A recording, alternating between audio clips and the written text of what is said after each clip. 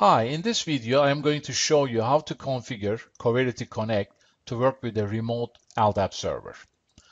Before we do this though, I would like to show you a nifty tool which we need to download and install on our machines. This tool is a free open source Apache Directory Studio and it is a LDAP browser so that we can connect to the LDAP server first, gather all the information we need, before we get into Coverity. You can download Apache Directory Studio from the link shown here. In my case, I have already downloaded it and installed it. So I'm going to go ahead and make an attempt to connect to my LDAP server. It just needs a name first. That could be anything. In my case, I just type LDAP here. Host name is Bill PC. That's my local desktop and that's where my LDAP server is running on port 389. Let's check the network connectivity. All good. Now I'm going to go to the next step and now provide the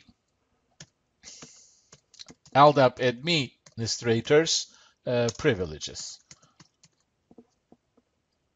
And the password is Coverity. Obviously, in your case, you need to use your own LDAP servers admins um, user and password.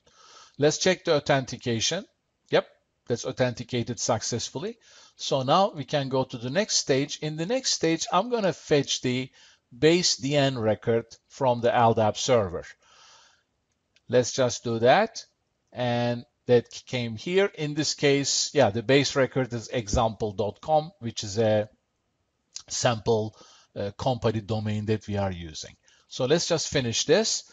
Now that we are connected successfully to the LDAP uh, server, let's go and browse the records.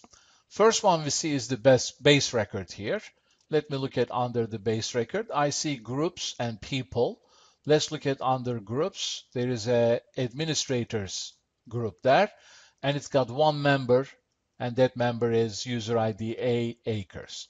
Let's go and locate that record.